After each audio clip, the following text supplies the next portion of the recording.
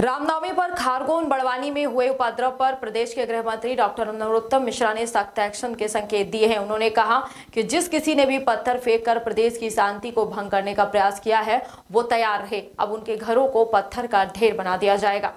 गृह मंत्री डॉक्टर मिश्रा ने कहा कि खारगोन की घटना में अब तक 77 लोगों की गिरफ्तारी हो चुकी है। अभी और लोगों की गिरफ्तारी होगी। खारगोन में अब शांति है तो वहीं दोषियों को चिन्हित कर गिरफ़्तार करने का अभियान शुरू किया गया है। एक भी दोषी को छोड़ा नहीं जाएगा। गृह मंत्री ने कहा कि पाँच राज्यों के चुनाव परिणाम के बाद हार नहीं पचाने वाले इस तरह का माहौल बिगाड़ने का काम कर रहे हैं। टुकड़े टुकड़े गैंग की स्लीपर सेल ये सब साजिश कर रहे हैं। प्रदेश की शांति भंग कर ये विघ्न संतोषी अपनी खींच निकाल रहे हैं। आप बताओ कि करौली राजस्थान में दंगे के बाद आज तक कर्फ्यू लगा है, लेकिन हारगोन के दंगे में राजनीति करने वालों ने आज तक करौली को लेकर मुँह नहीं खोला क्योंकि वहाँ कांग्रेस की सरकार है। उन्होंने कहा कि मैं बता दूँ कि प्रदेश में इस तरह की शांति भंग करने वाले कितने भी मंसूबे पाल लें लेकिन उनके मंसूबे किसी भी हालत में सफल नहीं होने वाले।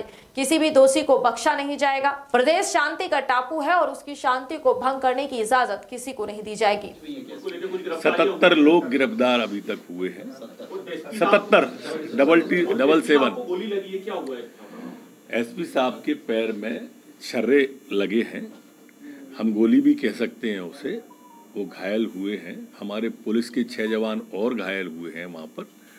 और अभी वो नॉर्मल है सिर्फ़ एक व्यक्ति है शिवम शिवम शुक्ला नाम के जो पुलिस के नहीं है। वो थोड़ा सिर में चोट ज़्यादा है। बाकी कोई भी गंभीर अभी नहीं है। खरगोन के अलावा और भी कारण क्या था? क्या नहीं सेंधवा में इस तरह की बात थी पर वहाँ सेंधवा में ये घायल होने की और इस तरह की ज़्यादा नहीं है और न ही वहाँ पर कर्फ्यू है। स्थिति वहाँ भी सामान्य है।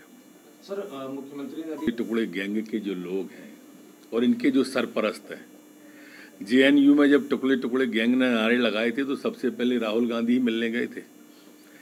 सबसे पहले केजरीवाल ही मिलने गए थे। करौली में अभी तक कर्फ्यू है। एक ट्वीट और एक शब्द नहीं बोला राहुल गांधी जी ने, कांग्रेस की सरकार है वहाँ पर। ये स्पष्ट रूप से समझ में आती है कि ये किसकी क्रोनोलॉजी है। अब जेएनयू को भी अपन देख लें तो जहाँ पर संविधान पढ़ाया जाता हो संवैधानिक वहाँ तोड़ने की बात की जा रही हो, अब मैं आज तक नहीं समझ पाया रामनवमी के दिन या हमारी आस्थाओं के साथ खिलवाड़ करने में इन लोगों को क्यों आनंद आता है। और क्या आनंद आता है। मांसाहार पूरा विश्व अब शाकाहार की तरफ़ बढ़ रहा है।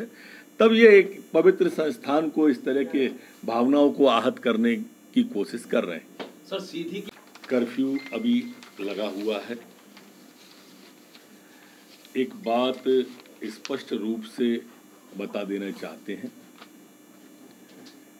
कि दंगाइयों को लगातार चिन्हित किया जा रहा है। सतहत्तर लोग अभी तक गिरफ़्तार हो गए हैं। जिस घर से पत्थर आए हैं, उस घर को पत्थरों का ही ढेर बनाएँगे।